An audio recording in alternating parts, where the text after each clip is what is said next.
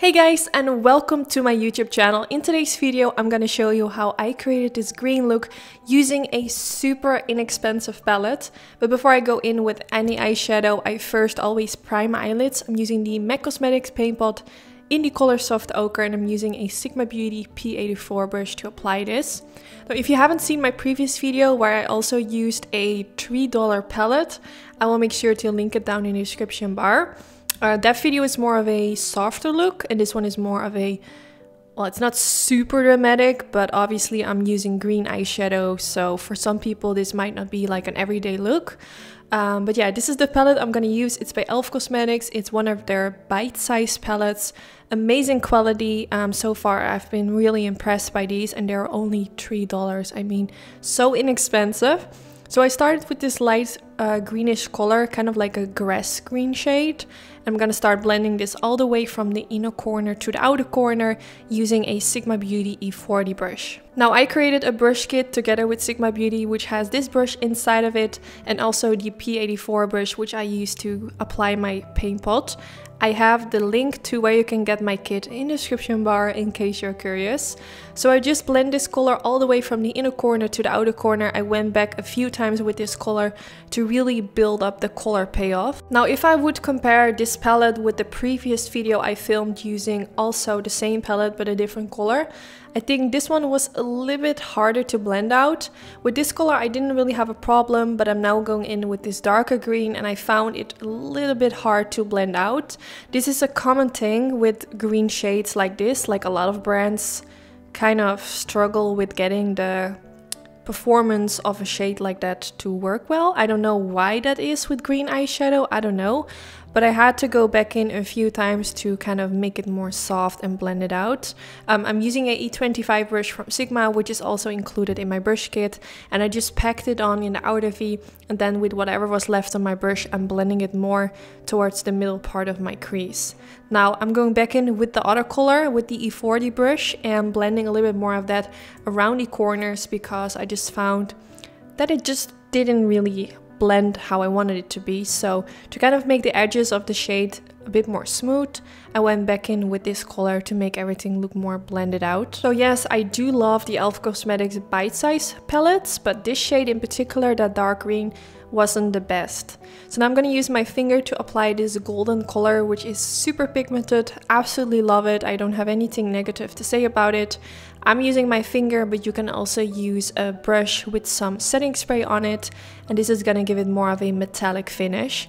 I prefer using my finger because I feel like it just blends a little bit more softer into the skin but of course you can do the way you want it to do it depends on what kind of finish you want it to have also using your finger is to make i think it does give great pigmentation but a little bit less than when you use a wet brush now I'm going to use this liquid eyeshadow from e.l.f. Cosmetics, which I was so excited to use because I really hoped these would be like dupes for the Stila Cosmetics liquid eyeshadows. Now when I swatched them on my arm they looked incredible but once I started applying it on the eyelid I noticed that it was not working well. I just noticed that the skin underneath the eyeshadow was showing, it just got so messy so I decided to go in with this eyeshadow from NYX Cosmetics which has the same color as the one uh, from the liquid eyeshadow. So I decided to use that instead to kind of try to fix what I did. Um, so yeah, that was really a disappointed because the liquid eyeshadows from e.l.f. are really inexpensive and they are incredible on the arm when you swatch them, but on the eyelid they just didn't work for me. Maybe I did something wrong. If you guys have any tips, definitely let me know. I would definitely like to give them another chance if I applied them incorrectly.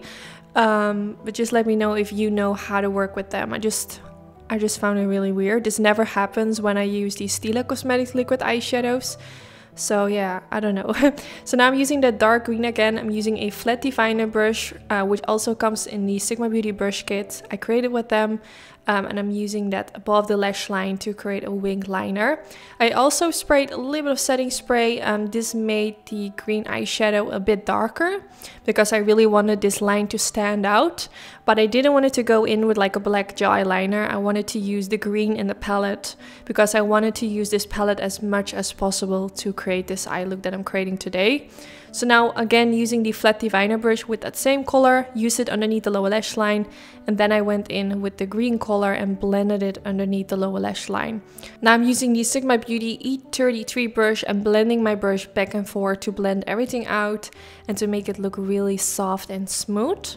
Then now I'm going back in with this golden color. I'm using a tiny pencil brush from Morphe brushes, applying a little bit of that underneath the lower lash line at the beginning. And then I also went in with this color because I haven't used it yet for this look. And I wanted to make sure to include all the shades in this palette. So I blended a little bit of that right next to the golden shade. And then last but not least, I used a little bit of the dark green color again, using a tiny wing liner brush and created a pointy inner corner. I have been doing this with a lot of my recent looks. I really love how that pointy inner corner makes your eyes look more foxy. I absolutely love it. And then I used this pencil from NYX Cosmetics, which is in the color Glitzy Gold. I used it in the waterline to kind of match with the gold on the eyelid. It's a really beautiful palette. Also really nice to use when you're creating more of a softer brownish golden eye look. Um, that's also really beautiful. I think I've used this pencil like three times before on my channel. Then now I'm curling my lashes and for my mascara, I'm gonna use one of my current favorites and this one is the Benefit Cosmetics Roller Lash Mascara.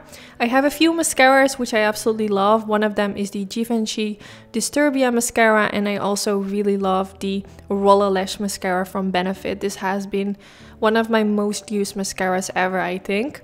So I'm gonna put this on the upper lashes and of course also on the bottom lashes. And for my fake lashes, I'm gonna use these lashes from Queen Tarzi.